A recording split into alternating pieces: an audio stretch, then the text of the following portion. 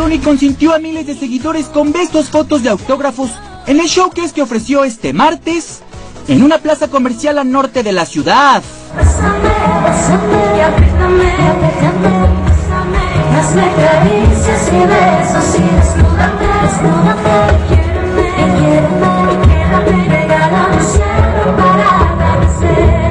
pues es muy bonito. Yo creo que la competencia es con uno mismo y el reto está cada día eh, en poder seguirse comunicando con la gente y con el público, porque al final si te dedicas a competir eh, con el entorno pierdes mucho tiempo. Yo creo que lo mejor es tratar de poner toda tu energía, todo tu amor a lo que tú haces, a lo que compartes con el público, al amor que la gente te regresa, al amor que la gente te manifiesta con su apoyo y su presencia y eso es en donde yo trato de enfocar toda mi atención. La cantante habló por primera vez de la filmación de su nuevo video Eclipse de Luna que en pocos días rompió récord de visitas en las redes sociales.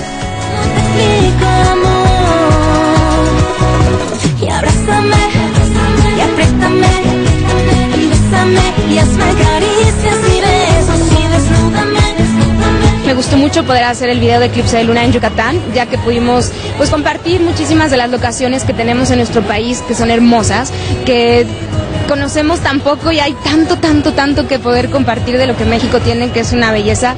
Y bueno, en este video pudimos ver a Celestún, Izamal y algunas otras locaciones, el sol, la luna, el mar, y son elementos que se hacen presentes en la letra de la canción, así que fue el mejor pretexto para, para poder compartir las locaciones de este estado con la gente. Su nuevo romance también salió a flote en la plática. En realidad no es ningún guía espiritual, ni es, ni es nada de todas las, las Em, etiquetas que se le han atribuido. Es un ser humano hermoso con el que estoy compartiendo una historia muy linda y con el cual me siento muy feliz y afortunada. Es músico, es director, es productor este, y hace muchas cosas. Es un hombre muy, muy inteligente. Maite confesó que los detalles de esta relación quedarán en privado luego de que una reportera le cuestionara sobre las recientes imágenes de la pareja en Miami. En realidad, em, ¿qué les digo?